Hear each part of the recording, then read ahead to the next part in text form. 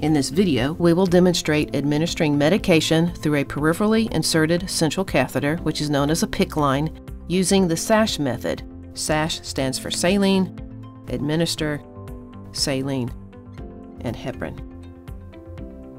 In this process, we will be using alcohol wipes, normal saline flush, the EID or elastomeric infusion device, heparin, and a green Curos cap.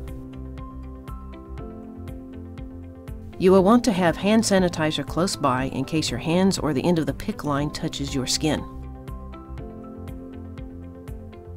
To begin the process, after following proper hand hygiene as described in your information packet, remove the green Curos cap from the end of your central line. Clean the end of the line with an alcohol pad for about 15 seconds.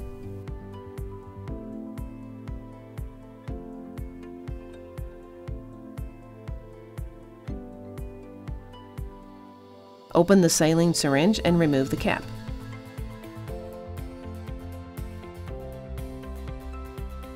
Hold the syringe straight up and push up on the plunger to remove the air bubble, being careful not to push out much of the saline.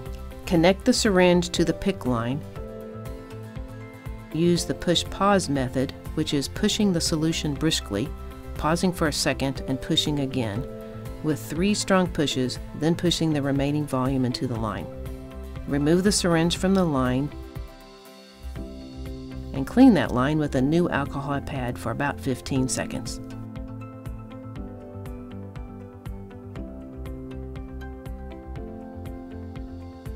Attach the elastomeric infusion device by removing the small cap.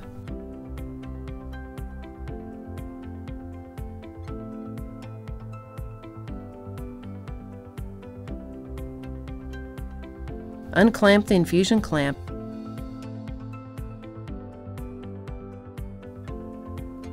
and let the medication infuse for the amount of time indicated on the label. Once the medication has infused, the device will lay flat indicating it is empty. Remove the device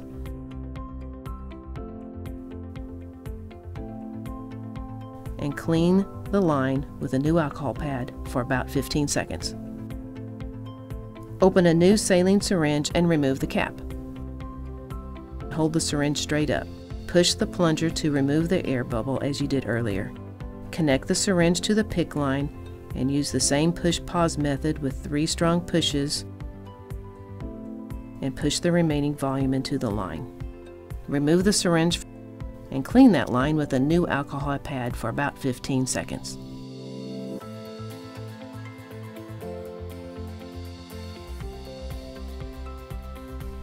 Open the heparin syringe, remove the end of the cap, and hold the syringe straight up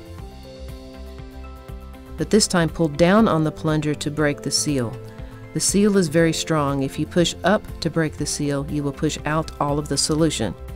So pull down on the plunger to break the seal, then push up to remove the air bubble.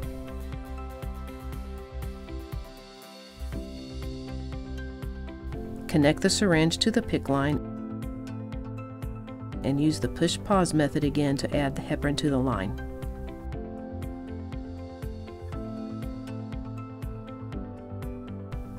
Finally, add the green Curos cap to the end of your PICC line. Cleaning with the alcohol before the step is not necessary since the green Curos cap is filled with alcohol.